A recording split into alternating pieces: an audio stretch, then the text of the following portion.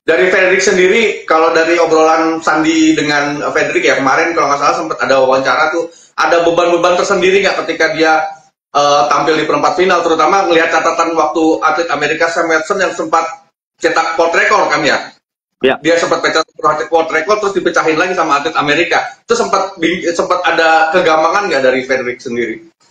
Nggak ada sih, dia juga dari malah dari pelatnas juga ngerasa uh, dia hmm, istilahnya nih ngegendong adik-adiknya kayak Adi, kayak Bilah dan juga Desak.